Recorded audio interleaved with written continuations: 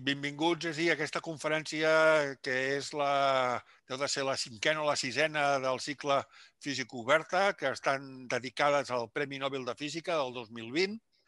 Eh? És dir, és dir, i, i aquí l'Àngels, que és l'organitzadora i la culpable de tot això, eh, farà la presentació del nostre speaker.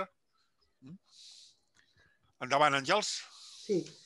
Hola, bona nit a tothom, bona nit a tots els que ens segueixen i avui tinc el plaer de, que tenim aquí entre nosaltres el professor Marc Marc Lloret, que és catedràtic de Física Teòrica a la Universitat de Salamanca i ens parlarà, el, el títol de la seva conferència és el teorema de singularitats de Penrose i els forats negres. Bé, jo no li vull xafar en absolut el seu, les seves explicacions perquè són molt millor que les meves.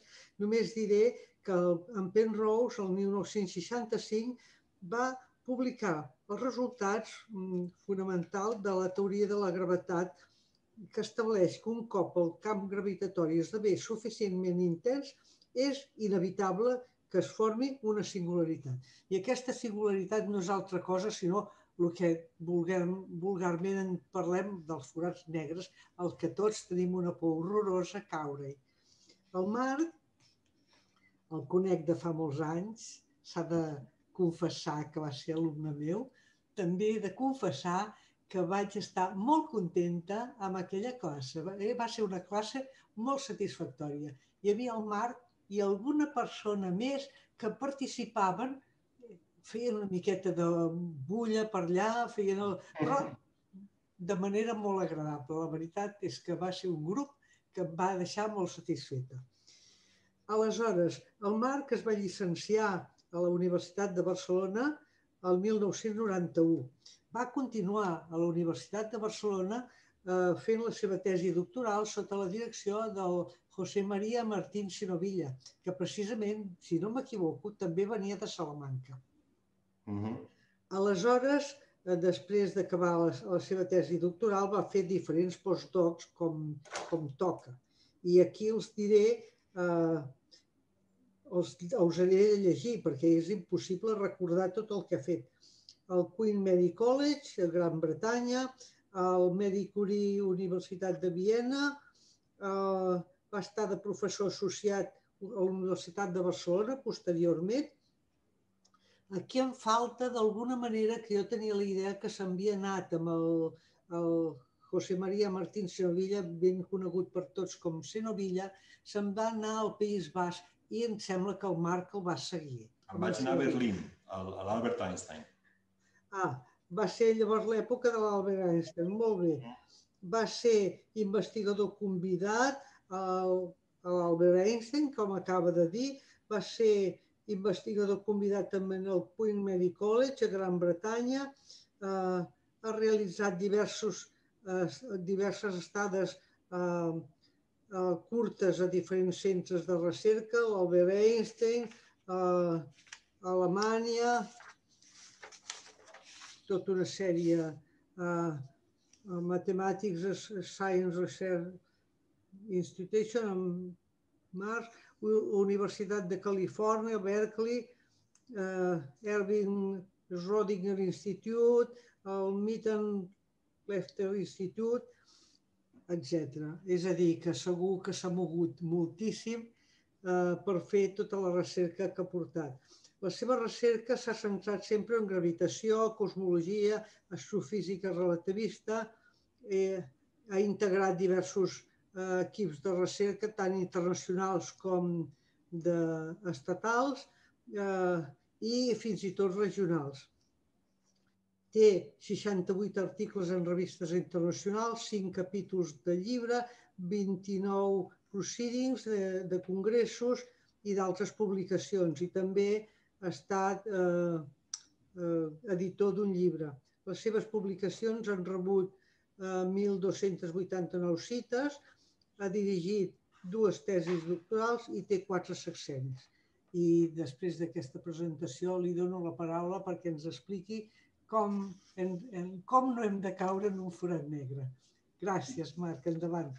Moltes gràcies per la invitació i també per la um, presentació.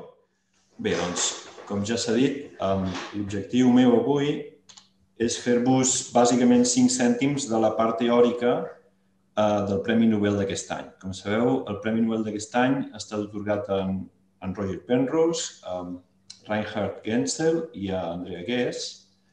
La meitat del premi ha anat en Roger Penrose i específicament ha estat pel descobriment que la formació de forats negres és una, una predicció robusta de la teoria de la relativitat general. Mentre que l'altra meitat, que ha anat a Reinhard Genzel i Andrea Guess, ha estat per el descobriment que, un objecte, que hi ha un objecte compacte supermassiu al centre de la nostra galàxia. Bé, com ja ha dit la Maria Àngels, la propera setmana hi haurà una conferència sobre la part més observacional i el meu objectiu és tractar de fer una introducció al desenvolupament teòric eh, que va en Roger Penrose i que li ha merescut eh, el Premi Nobel. Aleshores, bé, probablement tots coneixem en Roger Penrose, és, és un matemàtic que està afincat a la Universitat d'Oxford i que ha fet contribucions fonamentals a la relativitat general i també d'altres camps.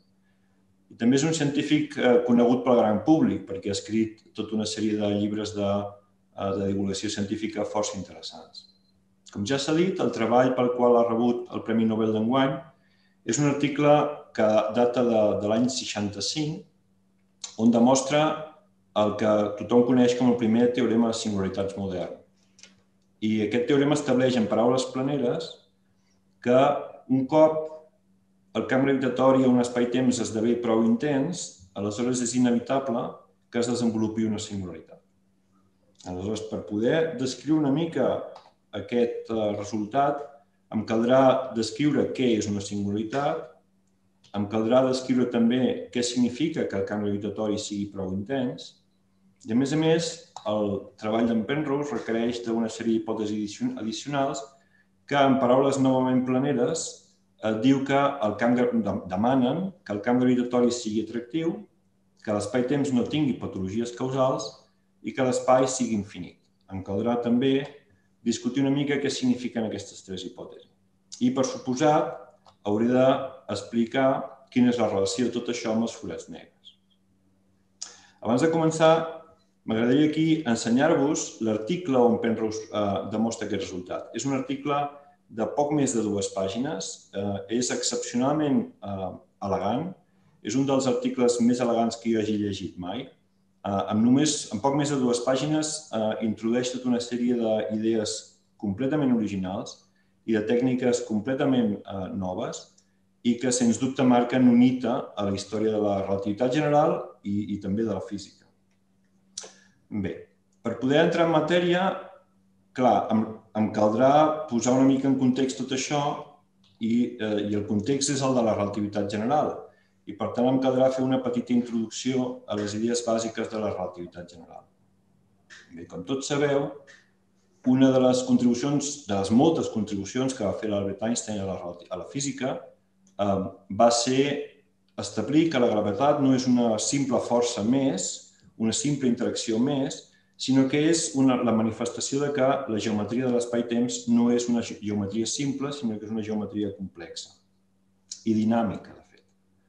Um, L'espai-temps més senzill que, que hi ha és l'espai-temps de la relativitat especial, eh, que es caracteritza perquè hi, hagi, hi ha absència de gravetat i aquest espai-temps ve descrit per la mètrica de Minkowski que tots, tots nosaltres coneixem. És una mètrica que en coordenades minkowskianes té x i z, adquireix aquesta forma tan senzilla. Eh, x i z són les coordenades eh, cartesianes habituals de l'espai i la coordenada t és un temps minkowskià els eh, punts de l'espai-temps són successos, és a dir, són esdeveniments descrits per alguna cosa que ocorre en algun lloc i en algun instant de temps, i cada succés té associat a la relativitat espacial un con de llum, un con de llum de possibles direccions. Aquí us mostro el, el con de llum eh, de la relativitat espacial, té un, una part que és el con de llum futur, una part que és el con de llum passat, i les direccions que estan a l'interior del com de llum futur s'anomenen direccions temporals futures, mentre que les direccions que estan a la vorera del com de llum futur s'anomenen direccions lluminoses futures i de manera similar per les direccions que van cap al passat. Totes aquelles direccions que no estiguin a l'interior del con de llum futur o a l'interior del con de llum passat s'anomenen direccions espacials. Aleshores, ens podem imaginar l'espai-temps de Minkowski com una col·lecció de cons, tots ells idèntics, tots ells eh, paral·lels i tot absolutament uniforme. Eh, tots els punts de l'espai-temps de Minkowski són eh, absolutament equivalents. Per altra banda, el que diem és que la gravetat modifica la geometria de l'espai-temps i, per tant, modifica la geometria. Modifica, què significa modificar la geometria? Significa que la mètrica ja no serà més una mètrica tan senzilla com la mètrica de Minkowski, sinó que caldrà fer servir mètriques més generals. I, per tant, un espai-temps típic de la relativitat general serà una parella d'objectes formats per un, un, una varietat diferenciable M, que és simplement un, el conjunt d'esdeveniments possibles, i una mètrica lorentziana G, que és la generalització d'aquesta mètrica minkowskiana d'aquí. Eh, què significa que una mètrica sigui lorentziana? Significa que, igual que la mètrica de Minkowski, té associada un, es permet associar a cada punt un con de llum. Eh, per tant, la mètrica lorentziana associa a cada punt un con de llum i permet, a més a més, mesurar distàncies i permet, a més a més, mesurar intervals de temps. Però no ho fa d'una forma tan uniforme i senzilla com la mètrica de Minkowski, sinó que ho fa d'una forma molt més complexa. Ens podem imaginar un espai-temps amb un camp gravitatori com la situació on a cada punt tenim un con de llum, però el con de llum està deformat i possiblement està inclinat. Això només és una, és, és una imatge pictòrica, però tanmateix és, eh, és, és útil tenir-la tenir, present. Bé, doncs a l'hora d'introduir això, sabem que a la relativitat espacial, les partícules massives es poden moure en trajectòries temporals, mentre que les partícules eh, sense massa es poden moure seguint trajectòries lluminoses. Això què significa? Significa que la trajectòria té un vector tangent a cada punt, que és la seva velocitat o quadrivelocitat, i que aquesta velocitat és un vector temporal quan eh, la partícula té massa i és un vector lluminós quan la partícula deixa de tenir massa. Té, té massa zero, és, un, per exemple, un fotó. Aquesta Uh, aquest tipus de moviments segueix sent igual, igual en el cas de la relativitat general, uh, quan tenim un, un, un espai-temps curvat, perquè seguim tenint els cons de llum. Ara, quan tenim un camp gravitatori, tenim unes trajectòries molt especials, que són les trajectòries de caiguda lliure. Si vosaltres deixeu una partícula en repòs o amb una velocitat inicial arbitrària amb un camp gravitatori i la deixeu lliure, deixeu que es mogui lliurement sota l'acció del camp gravitatori, doncs aquesta seguirà una trajectòria de caiguda lliure. I aquesta trajectòria serà totalment independent del tipus d'objecte que hi poseu. D'acord? Per altra banda, eh, les mètriques, i sabem que l'espai-temps ve definit per una mètrica al final, aquest objecte G que, que us introduïa fa un moment, doncs les mètriques també defineixen unes trajectòries molt especials, que són el que s'anomenen geodèsiques. Podem entendre molt fàcilment si pensem en l'espai pla, el pla euclidi bidimensional, si ens donem dos punts qualsevol del pla unidimensional, bidimensional, doncs tenim una corba molt especial que els uneix, que és la línia recta, que és la que minimitza la distància entre tots dos punts. Quan tenim una geometria una mica més complexa, per exemple, aquí us, us ensenyo la geometria d'un dònut, de la superfície d'un torus bidimensional, la superfície d'un dònut, doncs aleshores les geodèsiques són també més complicades. Aquesta corba blava que us dibuixo aquí és una geodèsica. I què és una geodèsica? Doncs és una corba que extremitza la distància entre dos punts. En el cas de la relativitat espacial, com la mètrica no només mesura distàncies, sinó que mesura distàncies i el temps, aleshores les geodèsiques allà extremitzaran distàncies o temps entre dos punts.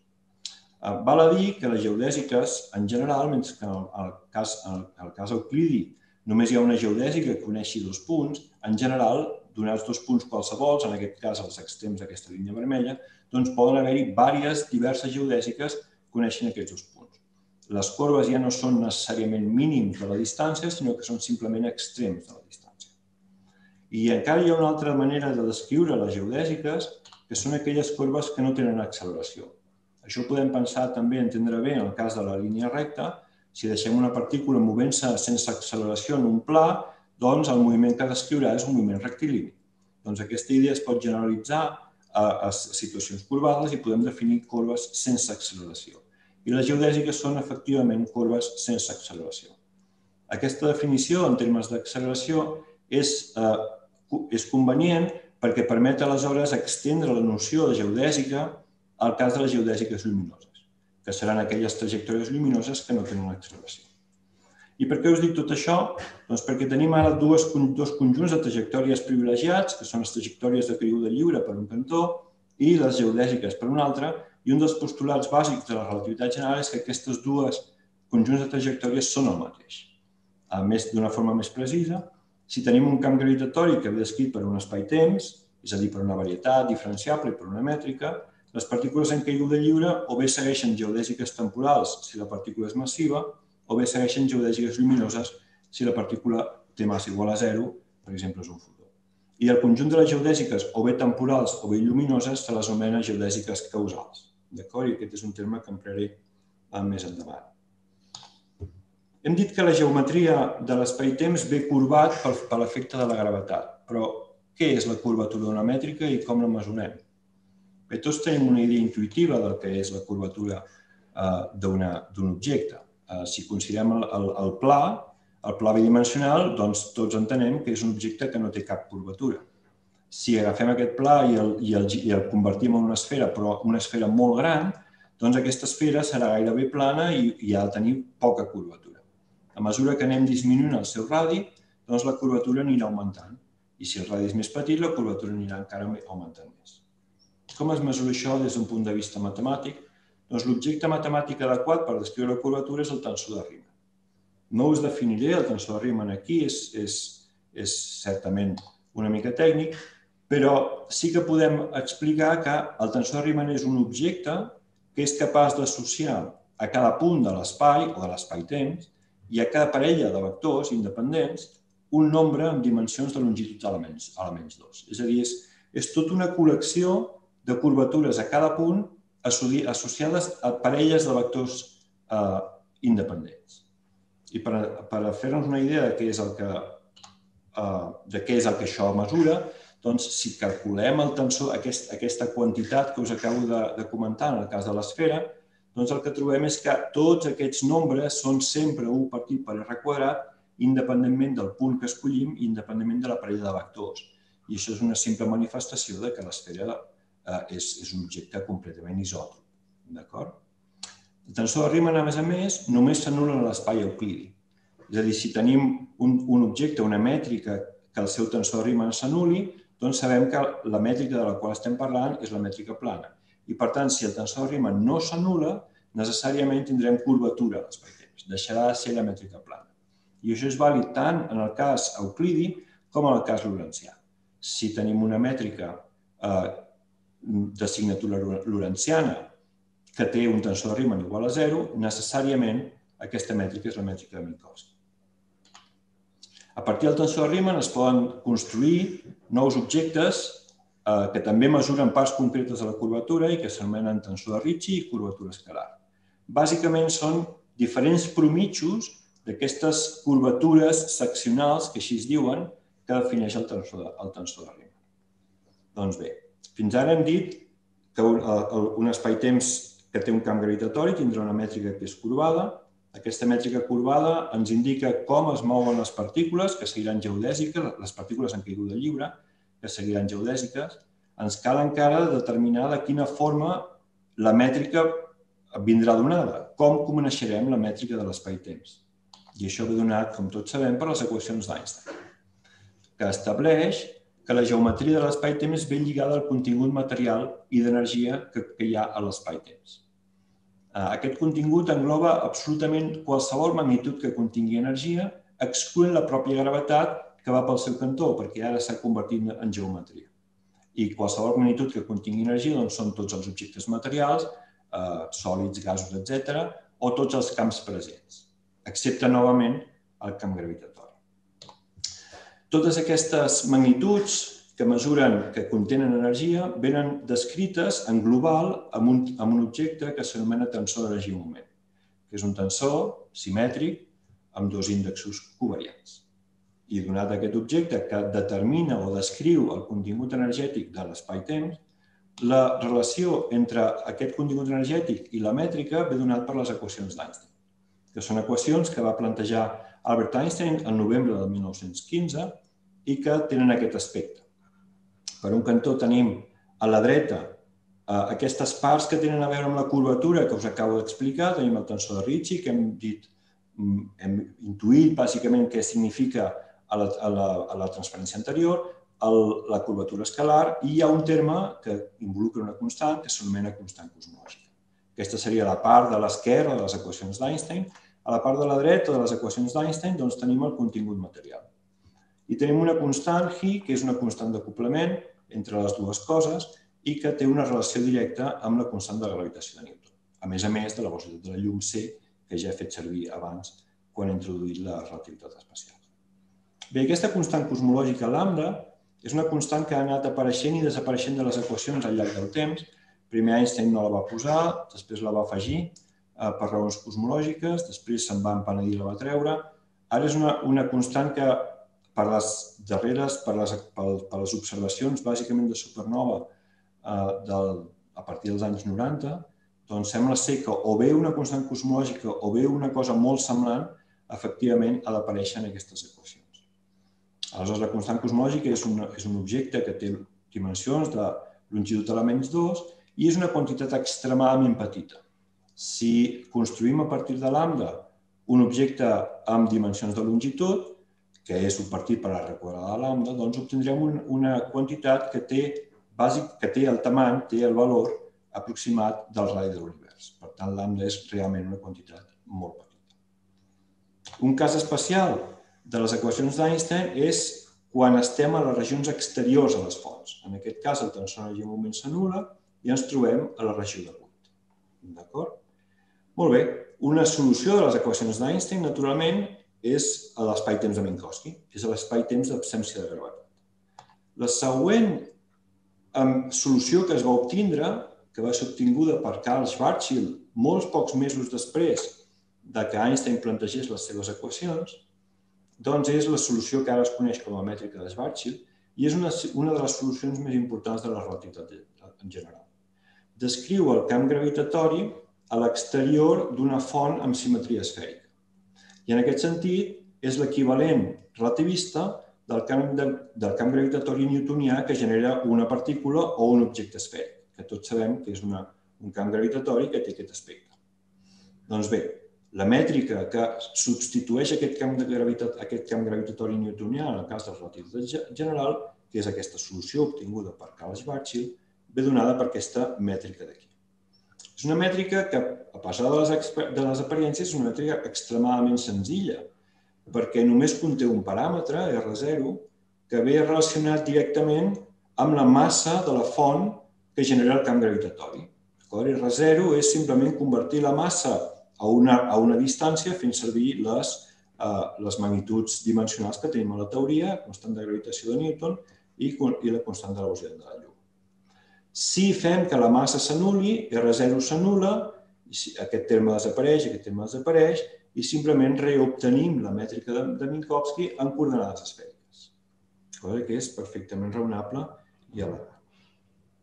Si mirem aquesta mètrica, que és, com dic, la mètrica més general que descriu el camp gravitatori extern a una font esfèrica de massa m, doncs aleshores, aleshores veiem que aquesta mètrica presenta dificultats a dos llocs. Presenta dificultats R igual a 0, perquè tenim un denominador, 1 partit per R, i presenta també dificultats a R igual a R0, perquè tenim un, una quantitat, aquesta d'aquí, que es fa 0 i, per tant, tenim un terme que divergeix. R0 és el que s'anomena radi gravitatori de l'objecte o també radi d'esbarge. Per tant, tenim una sèrie de problemes i ens hem de plantejar si són problemes seriosos. I la resposta de si són problemes seriosos és que depèn de la font. Perquè aquest és el camp gravitatori extern a la font. Si la font, l'objecte que genera el camp, té un, un radi més gran que el seu radi gravitatori, doncs aleshores aquesta dificultat R igual a R0 està en el seu interior i, per tant, simplement no hi és. Perquè la mètrica a l'interior, naturalment, no vindrà donada per la mètrica de Schwarzschild, que és una mètrica de buit, és una mètrica a la regió exterior. Per tant, la pregunta que ens hem de plantejar és si R igual a R0 queda a fora o a dins de la font. Per fer això, el que podem fer és plantejar-nos objectes estàndard, calcular el seu radi de Schwarzschild i veure si queda fora o a dins. Si ho fem això pel Sol, calculem que, per, donada la massa del Sol, el radi de Schwarzschild del Sol és aproximadament 3 quilòmetres. Per tant, queda molt, molt, molt endins de la seva pròpia, de, de, de, del propi Sol i, per tant, la mètrica de Schwarzschild, que representa, determina el camp gravitatori al seu exterior, doncs no té absolutament cap problema al seu radi de Schwarzschild perquè queda dins. Perquè tingués algun tipus d'influència, eh, caldria condensar el Sol a una, a una, a una regió, caldria fer-lo molt més petit, de manera que el seu radi fos comparable al radi de Schwarzschild. Cosa que, és, que òbviament ens portaria a un, a un objecte extremadament dens. Podríem fer el mateix considerant la Terra. Per el, el radi de Schwarzschild de la Terra és 9 mil·límetres, per tant hauríem de concentrar tota la Terra a un, a un radi de 9 mil·límetres perquè el seu radi de Schwarzschild esdevingués, un, un, esdevingués visible des de l'exterior. Per tant, el resum d'això és que calen situacions extremes perquè el radi gravitatori jugui un paper. Aleshores, la qüestió és, aquestes situacions extremes són situacions, a pesar de ser extremes, eh, que ocorren a la natura? Doncs anem a veure que el radi, el radi gravitatori té una interpretació interessant, interessant ja en gravetat newtoniana. Tots recordarem què és la velocitat d'escapament d'un cos. Si tenim un, un objecte massiu de massa m i volem llançar des de la seva superfície un objecte de manera, amb una certa velocitat inicial, de manera que aquest objecte sigui suficientment ràpid com perquè pugui abandonar el camp gravitatori, doncs sabem que ha de tenir una velocitat mínima i aquesta velocitat mínima ha de tenir més velocitat que el que s'anomena velocitat d'escapament. La velocitat d'escapament tots sabem que ve donada per aquesta expressió, que simplement iguala l'energia cinètica de la partícula quan la llancem a l'energia, el potencial gravitatori que té en el moment que la llancem, si l'energia és igual o sobrepassa l'energia potencial gravitatòria, la partícula serà capaç d'escapar. Aleshores ens podem preguntar, sota quines condicions la velocitat d'escapament igual a la velocitat de la llum? Doncs bé, si substituïu aquí, aquí B, B baixa, que és la velocitat igual a la llum, i manipuleu, trobeu que el radi al qual ha d'estar, el radi que ha de tenir l'objecte perquè la seva velocitat d'escapament sigui C, és precisament el seu radi gravitatori. Això va portar a John Mitchell, ja a finals del segle XVIII, a la següent observació. Va notar que si a la natura hi haguessin objectes amb una densitat raonable, diguem més o menys la del Sol, però un diàmetre molt més gran, diguem 500 vegades la del Sol, aleshores resulta que si un calcula el radi gravitatori per un objecte d'aquest tipus, doncs el seu radi gravitatori és uh, un radi gravitatori comparable, és, és, és el radi gravitatori és comparable amb, amb el radi de l'objecte.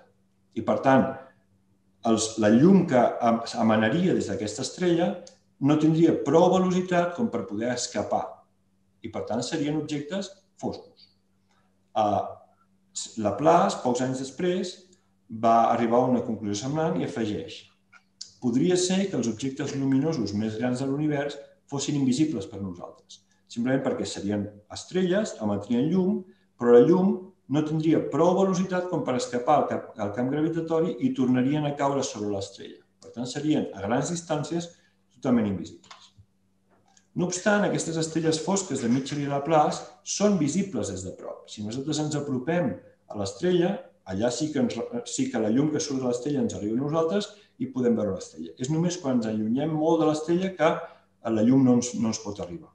Hi ha, una altra diferent, hi ha una altra propietat interessant i és que encara que la llum que s'escapa surt de la, a la velocitat de la llum i torna a caure del camp gravitatori, suposant que la llum ve afectada per la gravetat, naturalment, a pesar de que això passa per la llum, res ens impedeix a nosaltres, si estem a la superfície de l'estrella, imaginem-nos-ho, però disposem um, d'una nau, nau amb suficient, uh, amb suficient fuel, amb suficient combustible, doncs engegar els nostres motors i escapar-nos de la influència de l'estrella. No hi ha res que ens impedeixi escapar-nos de la influència de l'estrella, a pesar de que la llum no pugui escapar simplement perquè torna a caure. La predicció de la relativitat general, en, en quant al paper que juga el radi gravitatori, és molt més dramàtica. I això és el que us explicaré a continuació. Bé, la primera observació que un fa eh, és un resultat de, de Georges Lemaitre de l'any 1933 que es, explica, determina que l'esfera que es troba a R igual al radi gravitatori, a pesar de les aparences, no és cap singularitat de la mètrica de Schwarzschild. El que fa l'emetre és trobar un canvi de coordenades que escriu la mètrica d'aquesta manera. Això no, no ens interessa, la forma explícita de la mètrica, és només per veure que tots els denominadors que explotaven han desaparegut. El, la representació geomètrica d'aquesta mètrica ve donada en aquest, en aquest diagrama.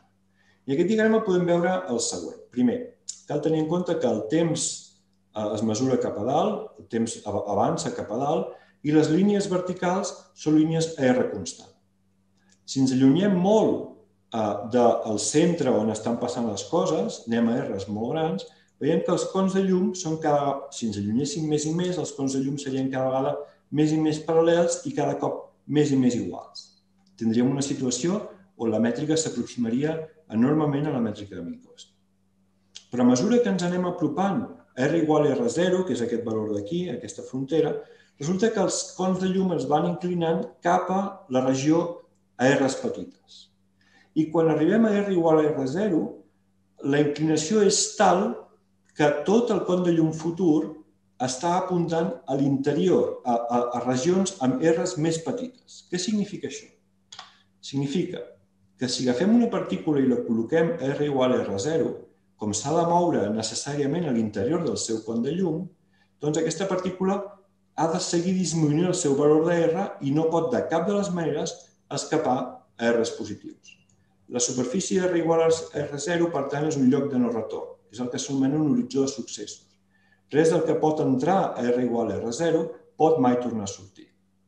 De la mateixa manera, absolutament res del que passi a l'interior, R més petit que R, R sub 0, pot influir en res el que passa fora. Són regions causalment totalment desconnectades de la regió exterior. Aquesta regió causalment desconnectada de l'exterior és el que s'anomena una regió de forat negre. I finalment, una altra propietat eh, d'aquesta mètrica és que una vegada hem atrevessat l'horitzó de successos R igual a R0, els cons de llum es van inclinant més i més i més i es fan cada cop més horitzontals, tendeixen a R igual a R0. Per tant, un cop hem entrat a dins de l'horitzó de successos, per tant, a dins de la regió del forat negre, els cons de llum ens obliguen necessàriament a arribar a R igual a R0. No, podem, no només no podem escapar-nos fora, sinó que necessàriament caiem a R igual a, R igual a 0. I a R igual a 0 tenim una singularitat. Per què tenim una singularitat?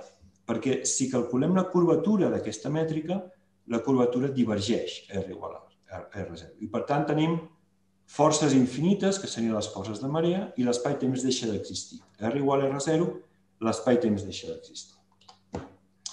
Aquests objectes són eh, extremadament estranys i són objectes que una, que, que una vegada l'emetre eh, va plantejar que, que, que R igual a R0 no era una singularitat real, sinó que era una singularitat fictícia de les coordenades, calia plantejar-se si aquests objectes existeixen a la natura o no.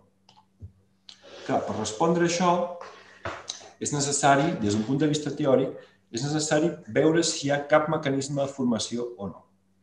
Clar, el que cal és, si disposem d'un objecte amb un radi molt més gran que el seu radi gravitatori, el que ens hem de plantejar és si som, és possible construir un mecanisme pel qual aquest objecte més gran que el seu radi gravitatori es, es comprimeix i, eventualment, es fa més petit que el seu radi gravitatori. Això pot passar de dues maneres, o bé consideren objectes molt compactes i, per tant, molt dens, objectes molt densos, o consideren objectes no necessàriament molt densos, com amb la densitat de la Terra o del Sol, però que tinguin un radi enorme. Val? Com hem vist en l'exemple de les estrelles fosques, aquests objectes tenen radis, eh, els radis d'aquests objectes són comparables als seus radis gravitatoris. Els candidats naturals per analitzar aquesta qüestió són les estrelles. Les estrelles són objectes grans, no tan compactes com aquests, ni molt menys, ja ho veurem. Són objectes grans, en els quals que són objectes que estan en un equilibri dinàmic. Tenim per un cantó l'atracció gravitatòria que voldria que les diferents capes de l'estrella eh, es fessin més petites, perquè s'estan atraient unes a les altres, i per altra banda tenim una, una força que és externa cap a fora, que és la força que fa la pròpia pressió del fluid i que és, i que és a les altes temperatures que hi ha a l'interior de l'estrella. Aquesta situació és estable mentre l'estrella pugui mantenir les seves les reaccions nuclears que hi ha al seu interior. A l'interior hi ha, una hi ha reaccions termonuclears que escalfen l'estrella, fan pressió cap a fora i aquesta pressió cap a fora el que fa és suportar l'atracció gravitatòria que apunta cap a dins i que vol col·lapsar, té tendència a col·lapsar a l'estrella. El que passa és que el combustible termonuclear no és un combustible infinit, sinó que s'acaba.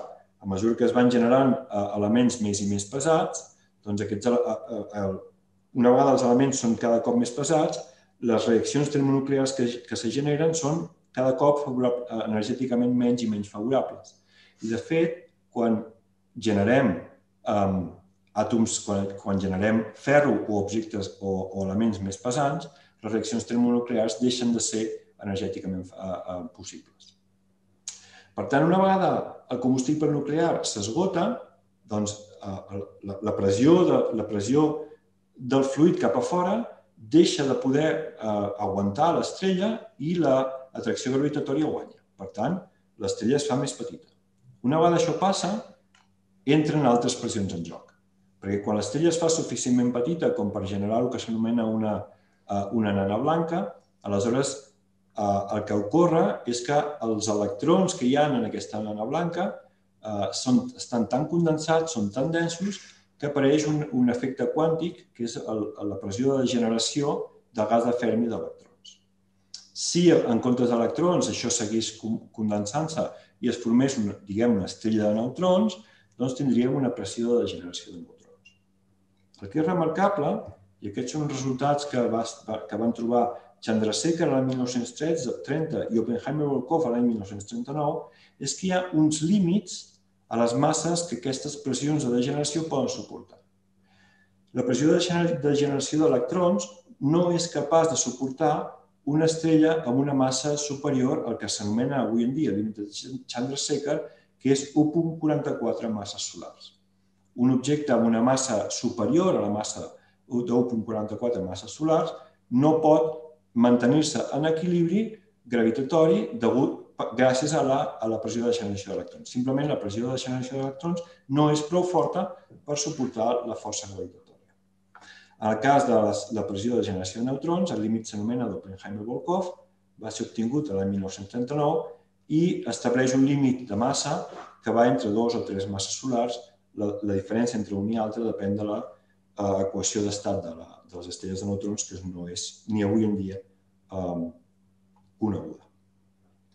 Per tant, el que tenim és una situació on, si hi ha objectes prou massius, sembla que no hi ha pressions conegudes que puguin suportar a l'estrella sota, sobre, no, que puguin suportar l'atracció gravitatòria que l'estrella s'està fent sobre si mateixa.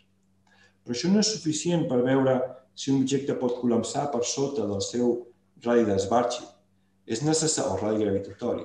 És necessari veure, a més a més, si la relativitat, general permet, d'una manera dinàmica, que un objecte col·lapsi per sota del seu radi gravitatori.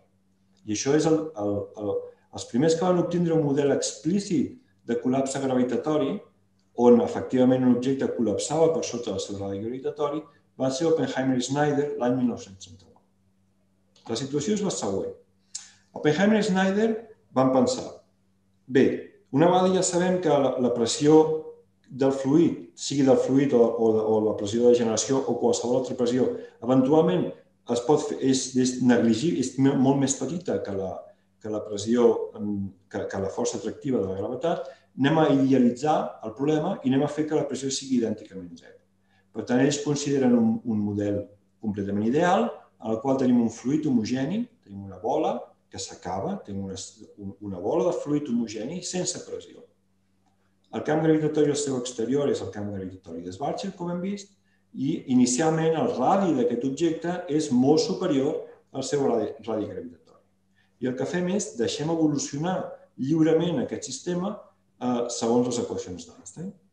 I el que troben Oppenheimer i Snyder en la seva anàlisi és que efectivament alguna, una cosa d'aquest estil ocorre.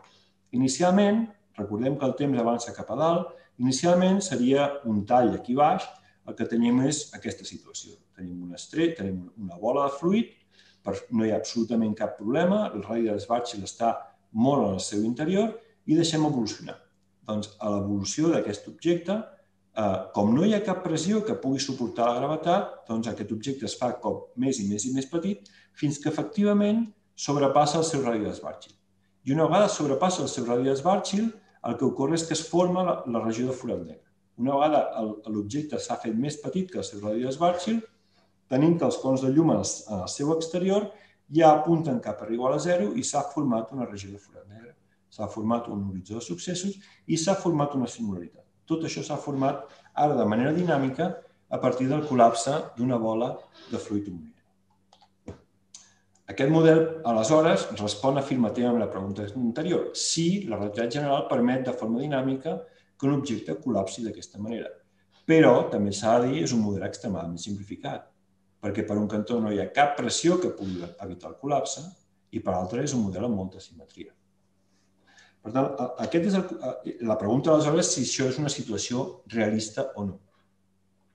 Durant ben bé dues dècades, aquests, aquests objectes, aquests forats negres que es generaven mitjançant col·lapse gravitatori, no, passaven de ser, no van passar de ser objectes purament teòrics.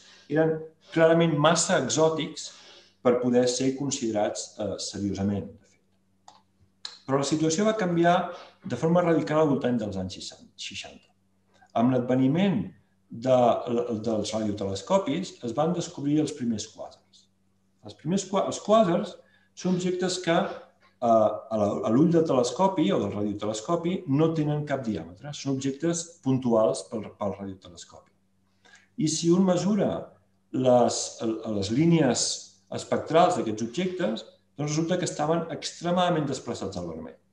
I això feia pensar que el que passava és que eren objectes que es trobaven a distàncies cosmològiques, és a dir, objectes que estaven extremadament allunyats de nosaltres eh, a la Terra on els mesuràvem. Però, per altra banda, eren objectes ben visibles en la, en, en, en la zona ràdio. Tenien força energia, estaven, estava arribant força energia a la Terra per, eh, des d'aquests objectes, a pesar de ser objectes a distàncies cosmològiques. Això només podia ser si aquestes fonts eren extremadament energètiques, perquè estem a, estem a moltíssima distància, cal molta energia mesa perquè ens arribi una energia apreciable a nosaltres.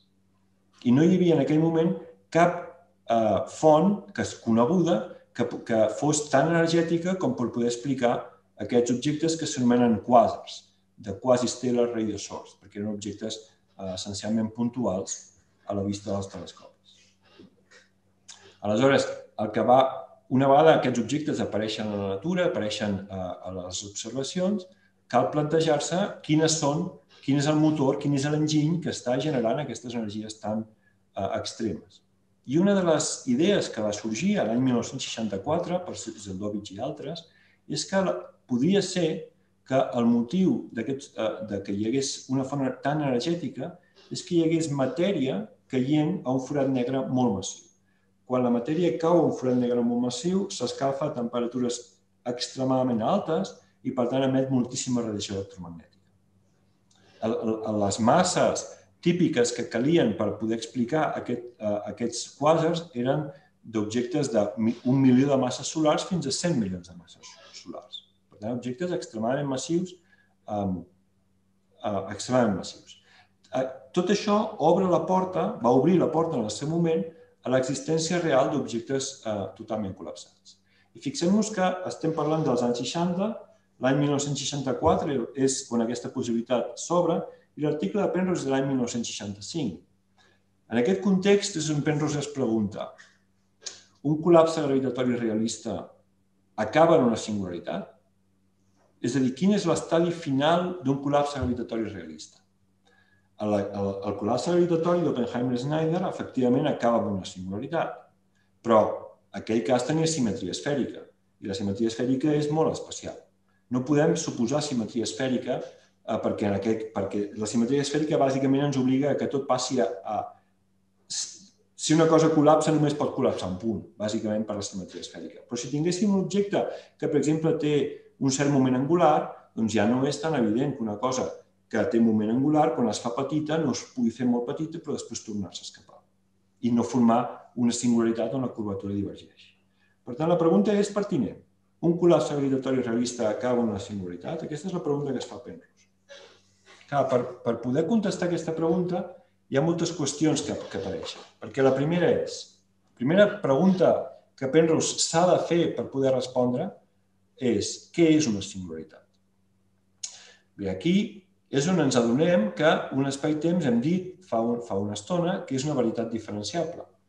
Una varietat diferenciable, per definició, tots els seus punts tenen un cont de llum ben definit i tots els seus punts són regulars. Per tant, per definició, les singularitats no poden formar part de la varietat diferenciable. Han d'estar en, el, en, la seva, en la seva vorera, per així dir-ho. No, poden, no la podem estudiar directament, hem d'arribar, hem de considerar algun tipus de límit per poder-la estudiar. Al col·lapse esfèric que hem, que hem discutit, la singularitat que ocorre a R igual a 0 apareix perquè la curvatura divergeix. Per tant, podríem pensar que potser una bona definició de singularitat seria algun tipus de límit que podem fer on la curvatura de l'espai-temps divergeixi d'alguna manera. Però aquesta definició té diverses dificultats. La primera dificultat que té és que no és cert que tots els espais-temps que un podria considerar singulars tinguin divergències de la curvatura. Hi ha altres formes de tenir singularitats que no tenen a veure directament amb la curvatura, sinó que tenen a veure amb altres coses. Per tant, no podem fer servir una definició que seria massa específica en aquest, en aquest sentit. Però a part hi ha una raó molt més pràctica per evitar una definició d'aquest tipus, i és la següent. Considerem l'exemple del, del diagrama que hem discutit ja al començar, fa una estona, el diagrama que descriu un forat negre de, de Schwarzschild. La singularitat està R igual a 0, però imaginem-nos ara que jo agafo aquest espai-temps i simplement esborro una regió al voltant de la singularitat em direu, si esborres això, estàs fent un... aquesta construcció és completament artificial. I efectivament ho és. Però el fet que jo puc esborrar aquesta singularitat fa que estigui suprimint la la, el, el fet que jo esborri un entorn de R igual a 0 em fa completament desaparèixer la singularitat. I en un espai-temps general, jo no sé si el meu espai-temps forma part, és molt difícil saber si un espai-temps forma part d'un espai-temps més gran. Per tant, ens cal una definició de singularitat que no depengui del fet de que si jo escullo un subconjunt, em desaparegui la singularitat. Vull una noció de singularitat que es mantingui quan agafo subconjunts de l'espai-temps. Aquesta és la idea que, que té Penrose al cap. És a dir, cal una definició que mantingui la noció de singularitat a qualsevol subconjunt. L'alternativa que fa servir Penrose és fer servir històries de partícules. Hem dit ja fa una estona que una partícula en caiguda lliure ve, està sotmesa únicament al camp gravitatori. Val? Per tant, segueix trajectòries i és una prova del propi camp gravitatori. Imaginem que tinguéssim una geodèsica causal i, per tant, una geodèsica que podria seguir o bé una partícula massiva, si fos una geodèsica temporal, o bé un fotó, si fos una geodèsica lluminosa. Suposem que tenim una geodèsica causal de l'espai-temps i que aquesta geodèsica arriba un moment que simplement no la puc continuar s'acaba la geodèsica i no hi ha forma humana de continuar-la dins d'aquell espai-temps. En què traduiríem aquest fet geomètric? Doncs el traduiríem en què tindríem partícules en caiguda lliure, partícules completament raonables, partícules, imaginem, de vida infinita, de, de, eh, que estan movent-se a l'espai-temps i de cop i volta deixen d'existir. Això el que està indicant, i no és culpa de la partícula que deixa d'existir, és culpa de que l'espai-temps en el qual s'està movent deixa d'existir. Aquest és el problema. Per tant, quan tenim geodèsiques causals que s'acaben, estem indicant que hi ha una cosa que va força malament a l'espai-temps. I una definició d'aquest estil té un avantatge fonamental, i és que per molt que esborrem parts, si teníem una geodèsica que s'acabava i esborrem una part de l'espai-temps, també hi haurà geodèsiques que se seguiran acabant. Per tant, és la, satisfà aquesta noció de que una vegada tenim una singularitat, encara que esculli subconjunts, seguiré tenint una singularitat. Aquesta és la definició que introdueix Penrose de singularitat. Diu, un espai-temps serà singular si conté una geodèsica temporal o luminosa, és a dir, una geodèsica causal, que sigui inextendible, és a dir, no formi part d'una geodèsica més gran, però que sigui incompleta, simplement que el seu paràmetre, a mesura que jo em moc al llarg de la, la geodèsica, la geodèsica s'acaba. És important destacar que aquesta definició no especifica en absolut què és el que va malament a l'espai-temps. L'única cosa que ens diu és que hi ha alguna cosa que va força malament en l'espai-temps. Molt bé. Penrose es preguntava, hem dit fa, fa un moment, si, aquest, si els col·lapses gravitatoris duien necessàriament a singularitats. Per tant, cal descriure què és un sistema col·lapsat. Podríem pensar que la definició d'un sistema col·lapsat és que ha d'involucrar necessàriament camps gravitatoris intensos. Però què és un camp gravitatori intens? Doncs aquesta pregunta no és una pregunta en absolut senzilla. I per què no ho és? No ho és per un dels postulats bàsics de la relativitat general, que és el principi d'equivalència d'Einstein, que Einstein ell mateix va dir que va ser la, seva idea més feliç. És el que li va permetre, en el fons, el principi d'equivalència d'Einstein ell el va, eh, el va entendre l'any 1907 i va tardar encara 8 anys ben bons en poder desenvolupar la relativitat general de manera, de manera completa. Doncs aquest principi d'equivalència d'Einstein diu el següent. Diu, no hi ha cap procés físic que pugui distingir si ens trobem en un sistema de referència accelerat en absència de camp gravitatori o si ens trobem en en un sistema de referència inercial però un camp gravitatori, sempre i quan aquest procés físic estigui prou localitzat en l'espai i sigui prou curt de duració. És a dir, processos físics suficientment locals en l'espai i suficientment curts en el temps no poden distingir entre sistemes de referència accelerats i sistemes de i camps gravitatoris. Això té una conseqüència immediata, i és que els sistemes que es troben en caiguda lliure deixen de sentir la, la gravetat a escales prou petites. Tots tenim eh, tots hem vist a un astronauta, a la, per exemple, a l'Estació Espacial Internacional, eh, flotant a l'espai. Això no és, naturalment, perquè el camp gravitatori on es troba aquest astronauta sigui zero. No ho és en absolut. És una, és una nau espacial que es troba relativament a prop de la Terra i està atreta per la Terra, sent el camp gravitatori de la Terra. Però està en caiguda lliure. I com està en caiguda lliure, pel principi d'equivalència d'Einstein, simplement deixa de notar el camp gravitatori. Aquí tenim un exemple, aquí tenim un altre exemple, on el que ha és, eh, tenim un astronauta que està tocant una bola de fluid que té, és un fluid, això és un líquid, que té una forma perfectament esfèrica. Per tant, la definició de camp gravitatori no pot ser mai local, perquè de manera local jo sempre puc anul·lar completament el camp gravitatori simplement llançant-me en caiguda lliure pel propi camp. Per tant, la definició ha de ser molt més complexa que això. I aquí és on la, segon, la segona gran idea de Penrose eh, pren, pren cos. La segona gran idea és introduir, el que fa Penrose és introduir el concepte de superfície atrapada. És una de les idees més importants introduïdes per Penrose i juga un paper fonamental no només en el seu teorema de singularitats, sinó que té conseqüències molt més enllà. La pregunta que es fa Penrose per, per, per trobar aquest concepte de superfície atrapada és com podem distingir la regió R més gran que R0 de la regió, que per tant és la regió fora del forat negre, de la regió R més petit que R0, per tant dins del forat negre, sense fer servir simetria esfèrica. Ja hem dit que si ens trobem a un valor de R més petit que el radi gravitatori, no importa com ens moguem, haurem de disminuir el valor de R. Això ja ho hem discutit. La manera més ràpida de moure's és la velocitat de la llum. Per tant, diguem-ne, la millor opció que tindríem per escapar-nos seria moure'ns cap a fora a la velocitat de la llum. Per tant, el que pensa Penrose és anem a analitzar aquesta situació. Anem a suposar una esfera, R igual a constant, i des d'aquesta esfera anem a emetre dos polsos de llum. Un pols de llum que va cap a fora i un pols de llum que va cap a dintre. Esperem un breu instant de temps i mirem on es troba el nou front d'ones.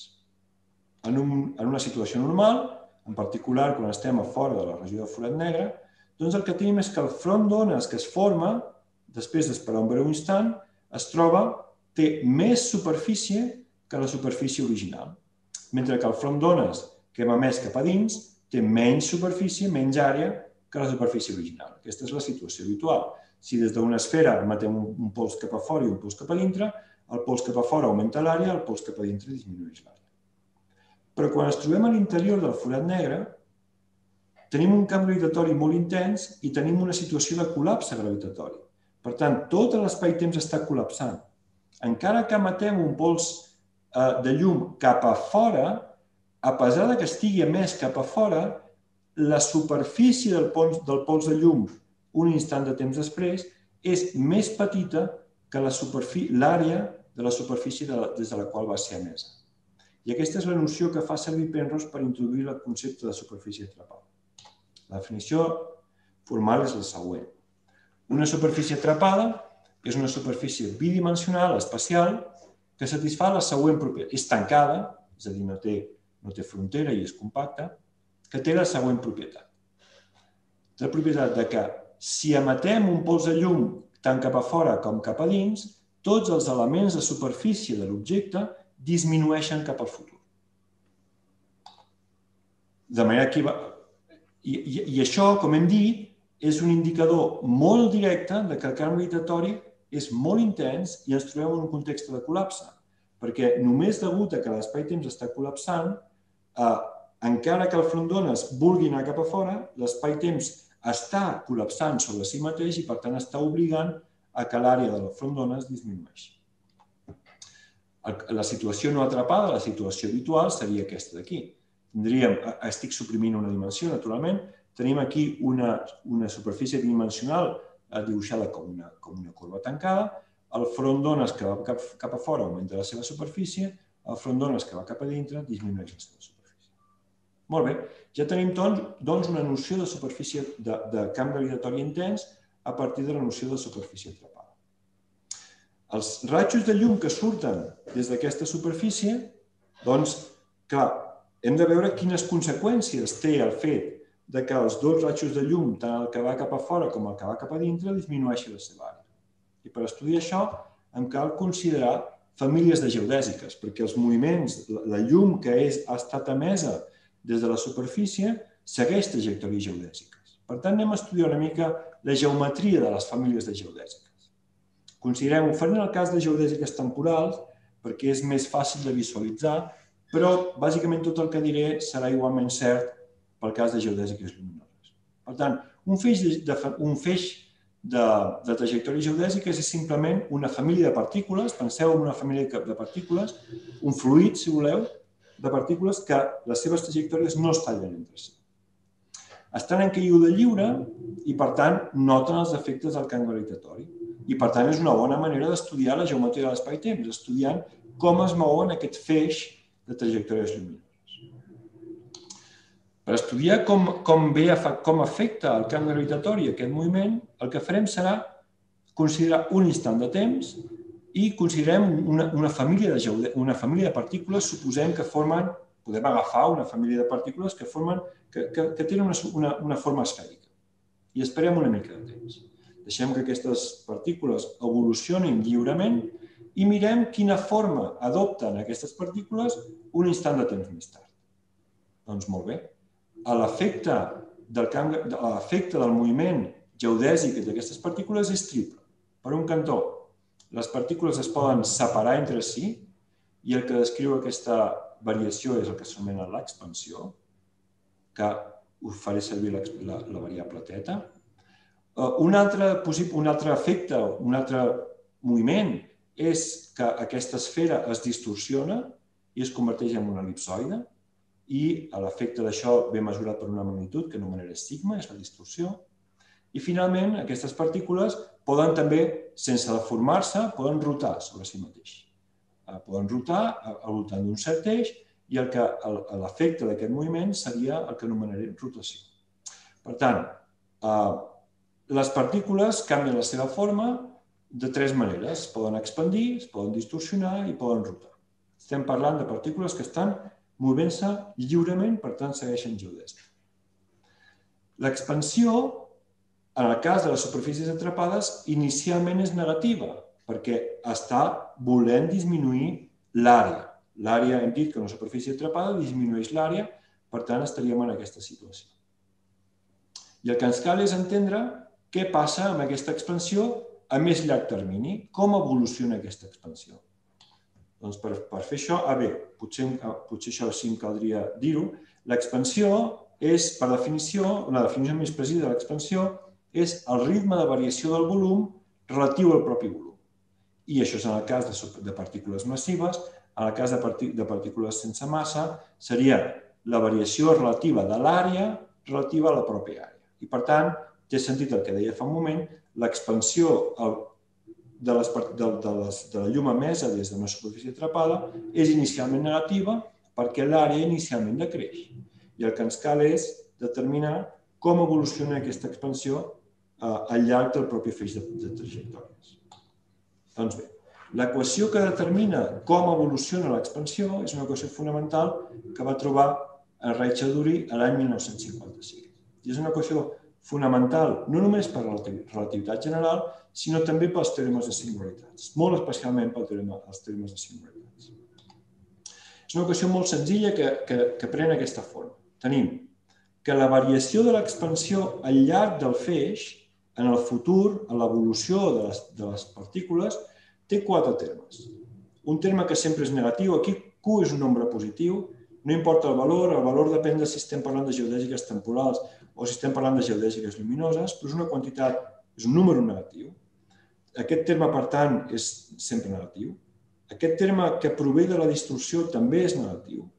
El terme que prové de la rotació, en canvi, és un efecte positiu, tendeix a separar les partícules i això té sentit perquè la rotació té un efecte centrífug que fa que les partícules es vulguin separar. I finalment tenim un efecte de la gravetat. I aquest efecte de la gravetat ve codificat únic i exclusivament pel tensor de Ricci. Molt bé.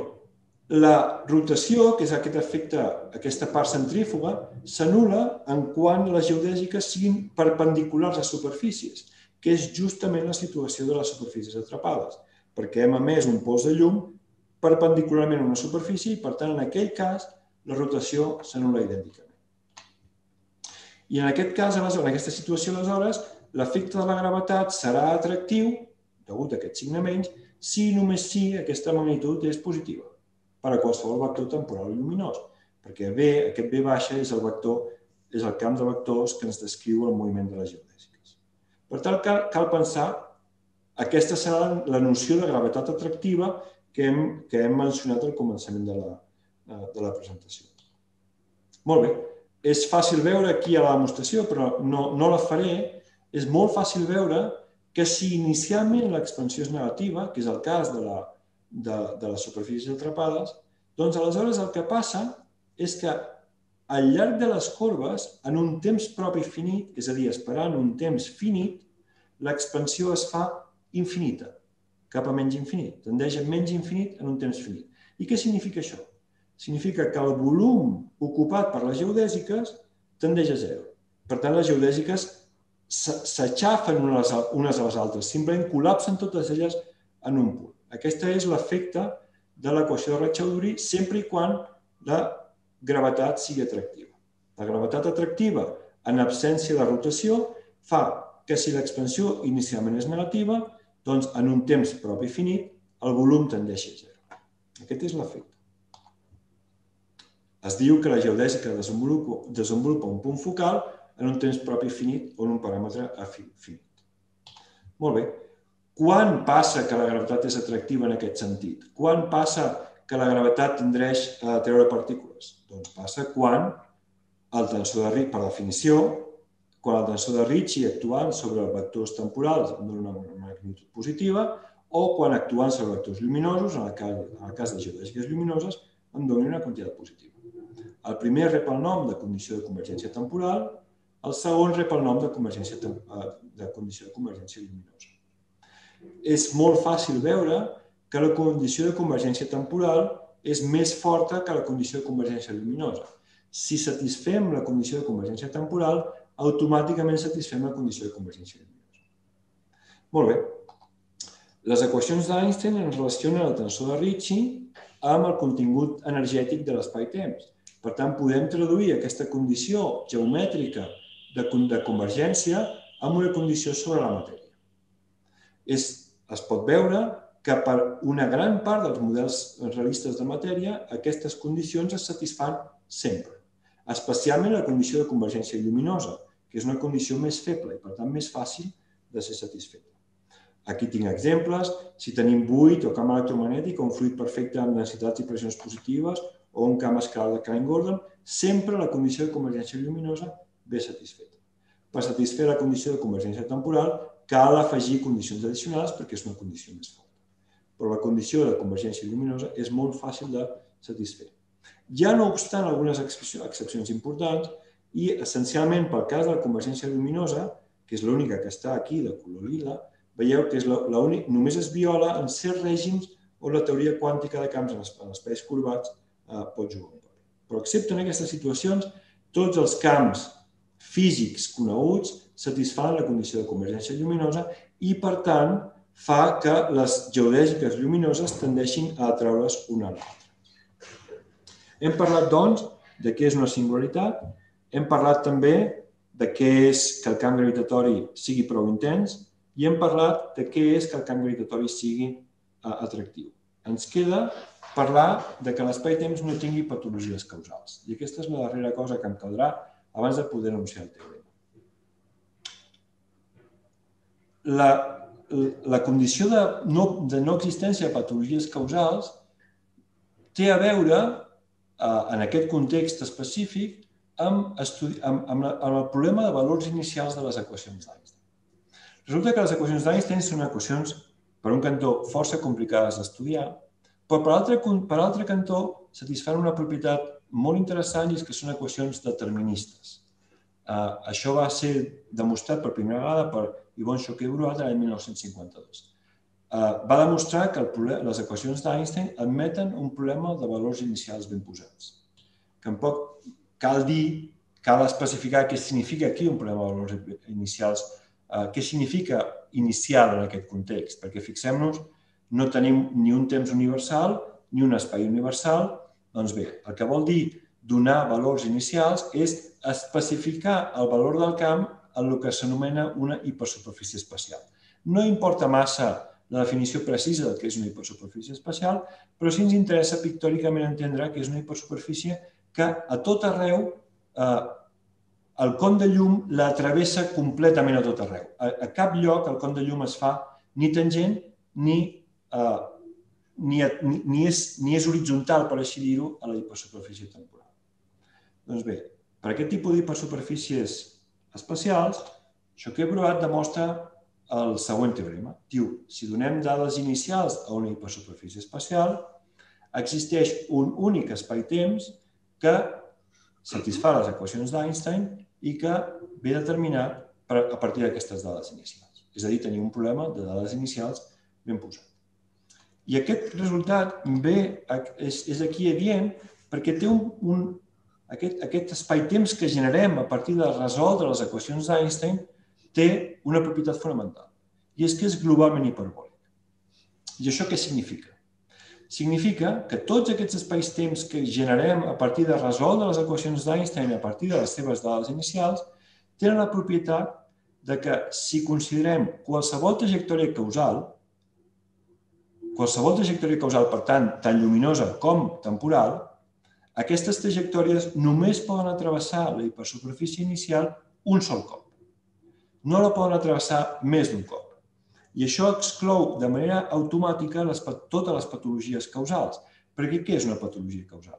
Una patologia causal és la possibilitat de viatjar al teu propi passat. Però si una trajectòria només pot atravessar una, una certa hipersuperfície un sol cop, és completament impossible que aquesta trajectòria sigui tancada, perquè si és tancada la podria travessar un, i dos, i tres, i infinits cops. Aquí tenim un, aquí, aquí us, us faig un diagrama que viola la condició de ser globalment hiperbòlic perquè té curves temporals tancades. Aquí els cons de llum els he dibuixat horitzontals i, per tant, puc perfectament moure'm amb una trajectòria temporal de manera que doni la volta en aquest cilindre i tindria una corba temporal tancada. Aquest, aquest espai-temps viola les condicions de causalitat, és un espai-temps amb patologies causals i no és globalment hiperbòlic. Doncs bé, una vegada hem introduït ja tots els eh, ingredients, puc anunciar el teorema de Penrose de 1965 de manera precisa. El que demostra Penrose de 1965 és el següent. Si tenim un espai-temps que sigui globalment hiperbòlic, aquesta és la condició que acabem de mencionar, amb superfícies de coixí no compactes, satisfà la condició, de, la condició de convergència luminosa i inclou una superfície atrapada, si aquestes tres condicions es satisfan, automàticament l'espai-temps conté una geodèsica inextendible i incompleta. És a dir, el que estem és donant la versió precisa de l'absència de patologies causals, que és que tenim un espai-temps hiperbòlic, de que l'espai sigui infinit, aquesta és la condició que les superfícies de coixí siguin no compactes, és a dir, són són, són superfícies de coixí infinites. La condició de convergència lluminosa és que la gravetat sigui atractiva, com hem dit, i que hi hagi una superfície atrapada és que estem a un camp gravitatori intens i, de fet, a un camp gravitatori intens en una situació de col·lapse. I la conseqüència del teorema és que l'espai-temps conté una geodèsica incompleta i inextendible i, per tant, conté una singularitat. I, de fet, en aquest cas, la geodèsica que se sap que és incompleta i inextendible és una geodèsica lluminosa. Pot ser seguida per un fotó.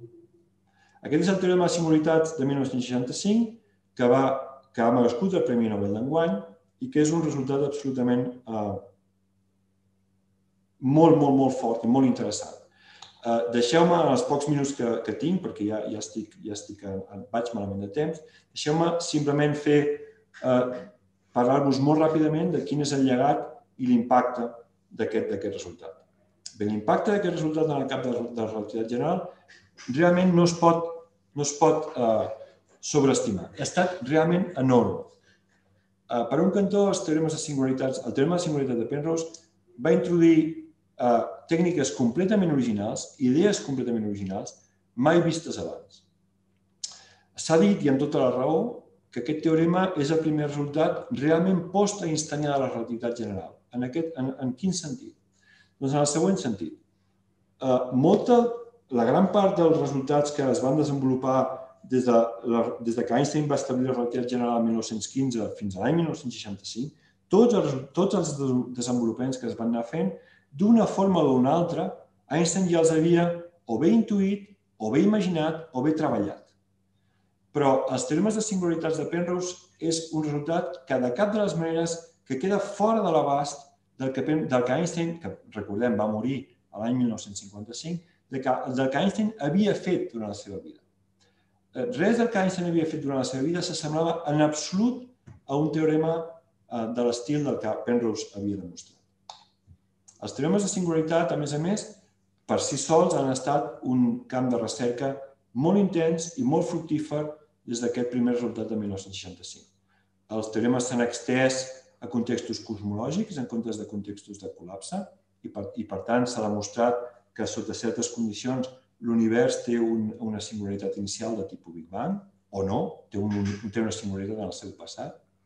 S'han extès a diferents nocions de camp extens, de, de camp intens, s'han modificat, típicament relaxat, les condicions d'absència de, de, de, de, de, de patologia causal i s'ha modificat també les diferents condicions d'energia eh, que apareixen. El concepte de superfície atrapada que hem, que hem discutit uh, uh, prèviament és un, és, un, és un concepte que, ja hem dit, juga un paper fonamental en, en els teoremes de singularitats, però que juga, de fet, un paper fonamental en moltíssims dels resultats moderns de la teoria. Per exemple, a partir del concepte de superfície atrapada es defineix el concepte de forat negre quasi local. I aquests són els objectes que s'han fet servir, per exemple, per fer les simulacions numèriques que eventualment han permès detectar les zones gravitacionals mitjançant els, els interferòmetres, eh, els interferòmetres de, de LIGO o de Virgo. Finalment, el teorema de Penrose introdueix eh, l'ús de tot un conjunt de tècniques matemàtiques completament novedoses al camp, per exemple, eh, nocions de topologia diferencial, nocions de teoria de causalitat, que han jugat, un, que han tingut un impacte absolutament enorme en el camp. Uh, en resum, aquest és un resultat absolutament fonamental, és un, és un resultat tan important que el seu, hi ha un llegat tan immens que, sens dubte, mereixen el seu màxim reconeixement. Si hagués tingut temps, tenia pensat eh, fer-vos una, una petita, un petit esbós de com la demostració funciona, però vaig molt malament de temps, així que ho saltaré i simplement us agrairé per la vostra atenció. Moltes gràcies. Molt, moltes gràcies. Marc, ara obrirem un petit torn de preguntes. Uh, busco els participants i miraré la maneta que s'aixeca. Hi ha, una, hi ha una cosa que, un punt on jo m'he perdut molt. Eh? Ai, ha de confessar que m'he perdut molt. Però hi ha una pregunta que, que m'ha sobtat que en un moment determinat, cap a ara, cap al final, has parlat que una de les condicions era que l'espai fos infinit, sí. si ho he entès bé. Sí. I, en canvi, en un moment determinat s'ha parlat de que l'espai era finit, que sortia una relació d'un radi de l'univers i penso com es pot conjugar un radi de l'univers finit, un... Exacte, sí, és una bona pregunta. I, un, I unes condicions per lo de Penrose que deia que havia de ser infinit. Clar.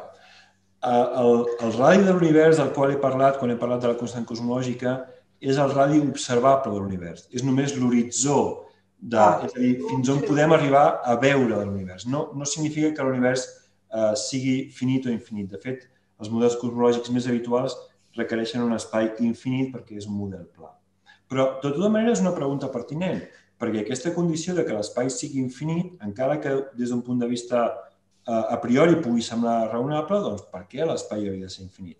I una de les, de les moltes direccions en les quals els teoremes de singularitats de Penrose s'han extès és introduint, incloent condicions, situacions on l'espai deixi de ser infinit i pugui ser, per exemple, compacte. De fet, curiosament, quan l'espai és finit, els teoremes de singularitat típicament, no sempre, però, però típicament són més fàcils de demostrar que quan estem parlant d'espais-temps infinits, que és el, el resultat que va fer, que va fer Penrose. Mm-hmm. Gràcies. Més, més preguntes? Aquí.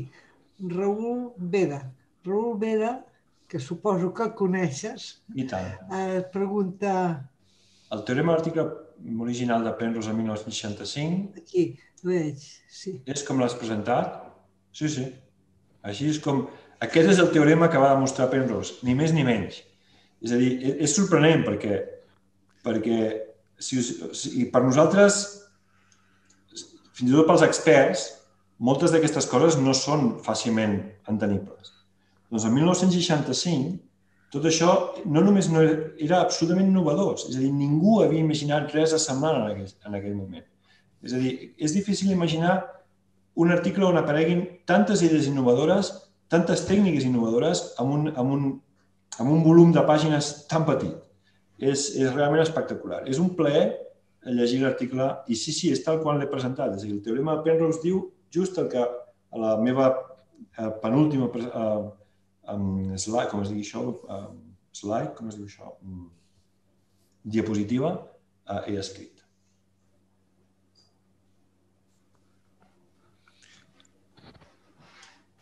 Ah, hi ha preguntes a uh, questions and answers.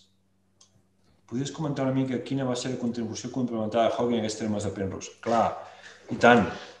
És a dir, el teorema de Penrose, aquest original que, que he descrit, és exclusivament de Penrose.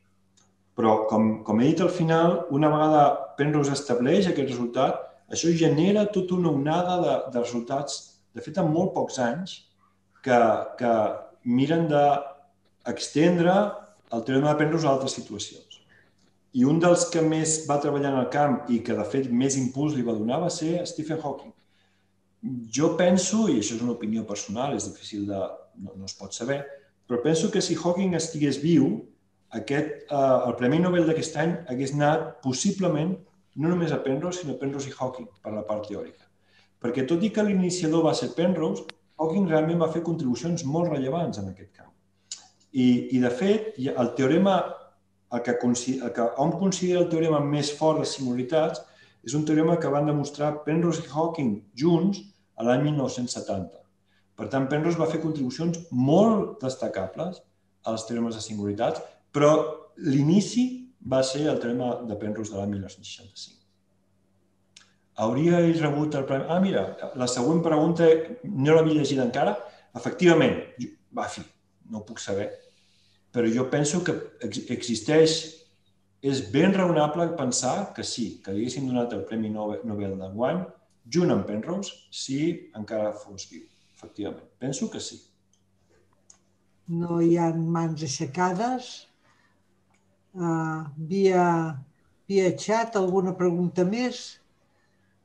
Bé, ens hem quedat que, efectivament, quan una persona es mor, per gran que hagi sigut la feina que ha fet, ja no és candidat a ser Premi Nobel, encara que se l'hagués pogut mereixer.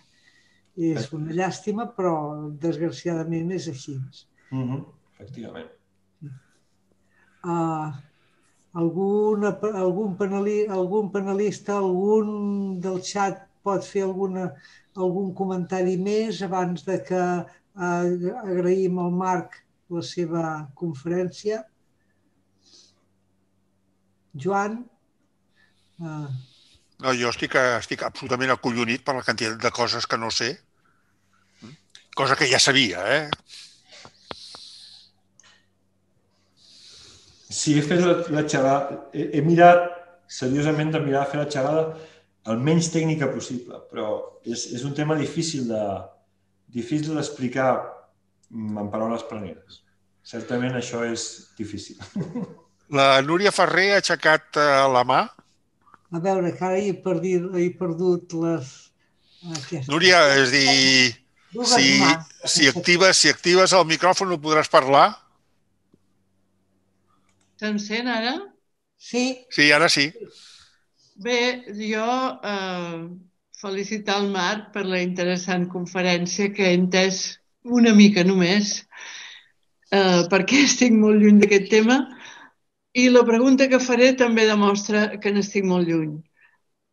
Bueno, és clar, tal, tal com al principi has exposat, mm, uh, D'aquesta manera, el camp gravitatori i qualsevol altre tipus d'interacció, per exemple l'electromagnètica, són molt diferents, no? I en canvi, a vegades havíem sentit a dir que, que, que, que potser serien eh, semblants, equivalents o Clar. intercanviables o aspectes diferents d'una mateixa cosa. No sí. sé Efectivament, és a dir, aquí hi ha, hi ha diverses qüestions. Aquí. Per un cantó, el camp gravitatori i el, i la, i el camp electromagnètic s'assemblen molt quan ens l'ensenyen, diguem-ne, al, al, al batxillerat per primera vegada o al COU, quan fos, doncs van en paral·lel, perquè la llei de Newton i la llei de Coulomb són, són idèntiques, excepte un, un signe aquí o allà. I, I, per tant, hi ha un paral·lelisme molt clar entre, entre les dues. Però molt ràpidament aquest paral·lelisme divergeix, perquè per un cantó l'electromagnetisme desenvolupa les equacions de Maxwell i per altra banda la, la gravitació newtoniana bàsicament es queda estancada, perquè la gravitació newtoniana seguia mantenint l'equació de Poisson com l'equació fonamental de, de, la, de, de la gravetat, que és una equació que no és dinàmica, és, una equació elíptica, és una equació que no té evolució. Hi ha, hi ha interacció instantània entre dos punts és quan la relativitat general apareix que se li dona, contingut, se li dona un contingut dinàmic, si un vol, a la, a la, a la gravitació, se la converteix en la relativitat general i, aquestes, i aquesta teoria ara és completament separada de l'electromagnetisme. Diguem-ne que l'evolució les ha portat a llocs completament diferents. Per altra banda, hi ha hagut intents posteriors, després d'Einstein, de veure si, igualment que la gravetat s'havia pogut geometritzar, és a dir, s'havia pogut convertir en un en una efecte de la, de la geometria de l'espai-temps, si potser es podia fer el mateix amb l'electromagnetisme. I va haver-hi tota una sèrie de, de treballs de Kaluza i de Klein que el que van tractar és de veure si podien geometritzar l'electromagnetisme introduint una, una dimensió addicional a l'espai-temps, una cinquena dimensió. I tot i, tot i alguns eh, èxits que va tenir, eh, que va tenir el, el formalisme, això bàsica, bàsicament ha quedat, no ha arribat a bon port. Diguem-ne que no s'ha aconseguit geometritzar l'electromagnetisme, que no ha passat de ser un camp més en l'espai-temps, mentre que la gravetat, diguem-ne que juga un paper molt diferent. I és tan diferent el paper de la gravetat que, de fet, la dificultat principal un dels problemes oberts grans que hi ha a la física teòrica és, com tots sabem, quantitzar la gravetat. I la dificultat, una de les grans dificultats de quantitzar la gravetat és que és una teoria, és una, és una interacció tan diferent a la resta. Com és una interacció tan diferent a la resta, resulta que els mètodes de quantitzar-la també hauran de ser probablement eh, completament novedosos i de moment s'escapa a, tots els, a tots els intents seriosos que, que s'intenten fer. Per tant, sí, estic d'acord, la gravetat és una interacció molt diferent a, a l'electromagnetisme i a qualsevol altra interacció, de fet. Per això costa tant eh, ajuntar gravetat amb model estàndard de, de, de física de partícules o quantitzar la gravetat. Gràcies. A tu, Núria, encantat de, de tornar a parlar amb tu. Uh, en Raül Vera té una pregunta, preguntes i qüestions. Una pregunta de l'Eva. L'Eva, uh, si Eva. engegues el micro, uh, podem sentir-te. No, aviam, jo, Àngels, jo estic apabullada. Vull felicitar el ponent perquè ha sigut uh, brillantíssim i molt didàctic, però jo només anava pensant, a l'any 65 era quan nosaltres estudiàvem física. Vull dir, jo em sento tan fora de tot aquest món que, bueno, mira, només uh, solo sé que no sé nada i felicitar de nou amb ell. Moltes gràcies. Jo, si no hi ha... Hi ha una pregunta en Raül Vera al xat. Sí. Diu, el fet que en el, en el model de forat negre esfèric hi hagi un horitzó de successos, com apareix o no apareix el teorema de singularitats? Bé, aquesta és una molt bona pregunta també, perquè a pesar de que eh, el Premi Nobel ha estat otorgat per dir que els treballs de Penrose fan, di- bàsicament estableixen que els forats negres són objectes realistes, en realitat, els teoremes de singularitats de Penrose no en cap moment parlen de la formació d'un forat negre. El que fan els teoremes de singularitat de Penrose és, una vegada un sistema està col·lapsat, i això pot significar que hi ha un horitzó de successos o no, però si un sistema està col·lapsant, aleshores el que diu el teorema de singularitats de Penrose és que hi haurà una singularitat a l'espai-temps. És a dir, que el propi espai-temps desapareix, desapareix d'una forma dramàtica. I, per tant, no he parlat d'això perquè no he tingut temps, però què significa que una singularitat aparegui? Doncs significa que la pròpia teoria t'està dient que té un rang d'aplicabilitat limitat, perquè la pròpia teoria t'està dient he de formar una singularitat i, per tant, jo, com a teoria, deixo de ser una bona teoria per descriure aquesta singularitat. I aquesta singularitat haurà de venir descrita per alguna altra cosa, sigui la teoria quàntica de la gravetat o sigui el que sigui. En certa mesura, la relativitat general prediu els seus propis límits. I, això, I per això fa que aquest resultat sigui tan important, perquè està dient, dins del context de la relativitat general, hi ha uns límits molt clarament establerts. Doncs bé, eh, el que fa el teorema de singularitat de Penrose és establir que una singularitat es formarà, però no estableix que es formarà un forat negre. Això és una altra qüestió. I és una altra qüestió també força complicada, que també ha tingut eh, molts desenvolupaments al llarg dels anys, però, i, i que de fet encara no ha estat 100% resposta, té a veure amb el que s'anomena la conjectura de la censura còsmica dèbil. I no és, per tant, una relació tan directa entre el teorema de singularitats i la formació de forats negres. En aquest sentit, jo m'atreviria a dir que, en fi, que penso que el, el comitè de, del, del Premi Nobel, diguem-ne que no s'ha atrevit, no sé si, si fer servir aquestes paraules, no s'ha atrevit a, a realment dir, potser perquè és massa tècnic, què és el que el teorema de singularitat, què, quin és el resultat que realment Penrose estableix. I d'alguna manera ho relacionen amb forats negres que Penrose en realitat no parla. Penrose el que fa és, si es forma un forat negre, aleshores es formarà la singularitat. No diu que un forat negre s'hagi de formar. Això és el que, això és el que està dient. Tot i així, em puc fer una pregunta? Uh, una cosa que, que sempre m'ha sobtat. En, en principi, quan es parla de forats negres, sempre es diu que és un objecte, o per dir-ne alguna cosa, on d'allà no surt res, ni llum. Però, en canvi, últimament he sentit més d'una vegada que diuen que sí que surt que, que no és un objecte del que no surti res, sinó que sí que surten coses. Uh, Sí, en aquest sortir coses es podria interpretar com aquesta singularitat no és tal singularitat, també és una pregunta des interessant. d'un punt de vista.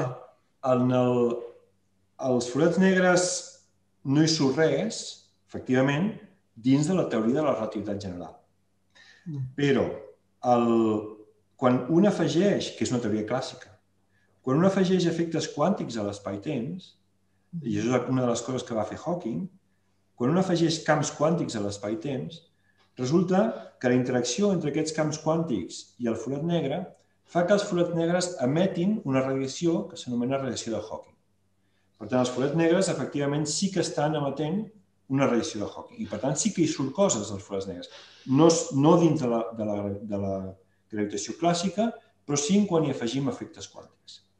Per tant, la pregunta és, si la radiació de Hawking està fent evaporar el forat negre, i efectivament és així, eh, què passa amb la singularitat? Perquè la singularitat que hi ha dins, si el forat negre eh, desapareix, al final què, farà, què, què passarà? Que serà una singularitat visible o que serà una singularitat... Bé, aquesta pregunta, clar, estem barrejant efectes clàssics amb efectes quàntics i, per tant, només es pot respondre bé quan fem servir la teoria quàntica en, les, en tota la seva plenitud. I quan fem servir la teoria quàntica en tota la seva plenitud, ja sabem o pensem que la singularitat, que és un objecte clàssic que està, que està, dient, que està prenent la teoria sobre si mateixa, segurament ja no hi serà. La singularitat una vegada afegim efectes de gravetat quàntica, probablement es converteixi en una altra cosa, que no tenim ni idea de què és. I segurament, quan la radiació de Hawking emeti, eh, eh, eh, el forat negre emeti radiació de Hawking i eventualment s'evapori, el que veiem o el que quedi al final serà possiblement, possiblement el que quedi una cosa... Bé, el que sí se sap és que els forats negres al final de la, de la seva emissió de radiació de Hawking exploten. Això és una cosa que, diguem-ne, és un runaway és un procés de runaway. Eh, cada vegada emeten més i més ràpid i en els últims moments emeten moltíssima energia. Per tant, hi ha una explosió. Però el que queda després d'aquesta explosió és un és terreny completament inexplorat. I no se sap perquè requereix d'una teoria quàntica de la gravetat simplement de la que no, de la que no disposem. No sé si he contestat a la... Sí, home, ho trobo, ho trobo molt interessant i penso que afortunadament pels investigadors i pels científics queda molta feina per fer encara, eh, cosa que sempre anima a continuar treballant i continuar-se fent, continuar fent-se preguntes i tenint incògnites per continuar investigant. Ho trobo molt interessant. Uh, ja, ara ja diré una borrada. Eh? Uh, pot ser que al final d'un forat negre sigui un Big Bang? Um, a veure, hi ha una diferència entre el Big Bang i una explosió de forat negre, perquè un Big Bang, diguem-ne, que és, és una singularitat inicial que ocupa tot l'espai. És a dir, és una singularitat universal a tots els punts de l'espai. Uh, en aquest sentit, hi ha una diferència important entre el que passaria a una eventual explosió final d'un forat negre. Perquè encara que sigui una explosió d'un forat negre, seguiria, una, seguiria sent una explosió localitzada a l'espai. Mentre que un Big Bang és una, és una singularitat inicial, és una explosió generalitzada a tot l'espai. Encara que una vegada se l'imagina i, i un dibuixa uh, un dibuixa un punt que, que explota, en realitat, la singularitat, al Big Bang el que passa és que apareix de cop tot l'espai. I aquest espai pot ser infinit. És a dir, pot ser que l'espai-temps temps apareix, l'espai apareix de forma sobtada a tots els punts alhora. Per tant, en aquest sentit és diferent a una explosió eventual d'un forat negre en els seus estadis finals de radiació de Hawking. Molt, molt interessant. Uh, uh, per, nosaltres, per mi, per, com a mínim, és perquè no en sé prou i tal, però em deixa tantes incògnites, tantes incògnites, que no sé eh, clar, ja primer perquè ja no tinc edat per posar-me en aquests camps i però per, per mi és que les preguntes que, de, que em faig són que no, les puc, no me les puc contestar. I seria posar-s'hi de tal manera a dins que seria molt difícil, molt difícil de poder estar al nivell per seguir totes aquestes idees i tal. Tot i així, m'ha semblat una, una pinzellada molt ben feta, molt interessant, que jo em penso que ha de deixar satisfet i suposo que ha deixat més satisfet aquells que en tenen una miqueta més que jo. Aquí, jo, si no hi ha més preguntes, et dono les gràcies, ha sigut molt interessant, ens ha obert més incògnites, que és el que està bé. I t'agraeixo molt que hagis acceptat eh, donar-nos aquesta, aquesta xerrada, eh, que t'agraïm infinitament. Sí, jo voldria felicitar el Marc, és a dir, el treball, el, la, feina que ha fet ha sigut eh, molt interessant. Ens ha deixat, és a dir, angoixat dels nostres desconeixements, eh? però també voldria felicitar els tècnics eh? que han fet tot això possible, és dir, perquè sense ells és dir, no hauríem après res del que hem après avui. Gràcies a tu, Marc. Moltes gràcies. Eh, voldria acabar ja, és dir, la, la gent que està treballant té que arribar a les 10 a casa seva, eh? és dir, i crec que ja portem força estona. Gràcies per tot. Mm? I simplement recordar-vos que la setmana que ve seguim.